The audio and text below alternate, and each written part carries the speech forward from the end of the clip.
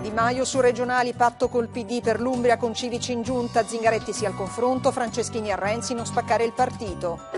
Salvini a punti dal referendum se tocca nel decreto sicurezza, Forza Italia, centrodestra faccia opposizione comune. L'attacco con i droni alla raffineria più grande del mondo in Arabia Saudita, l'America accusa l'Iran, timori per il prezzo del petrolio. Pinerolo, auto prende fuoco in autostrada, muoiono bimba di 6 anni e il padre e la madre ha cercato invano di salvarli.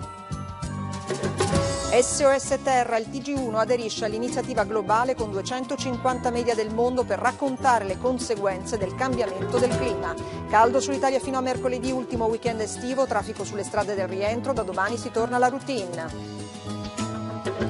40 anni fa nasceva Alba Chiara, una delle canzoni più famose e poetiche di Vasco Rossi, sottovalutata all'esordio, figurava nel lato B del disco Non siamo mica gli americani, che adesso esce in versione rimasterizzata. Buonasera dal TG1 tra 5 Stelle e Partito Democratico, dialogo in vista delle elezioni regionali. Di Maio propone un patto civico per l'Umbria, bene, avanti con il confronto, dice Zingaretti, dal leader 5 Stelle parole importanti, sottolinea Franceschini che si rivolge anche a Renzi, il PD e casa tua, non spacchiamo il partito. Francesco Maesano e poi Paola Cervelli. Un passo indietro della politica, uno avanti dei cittadini.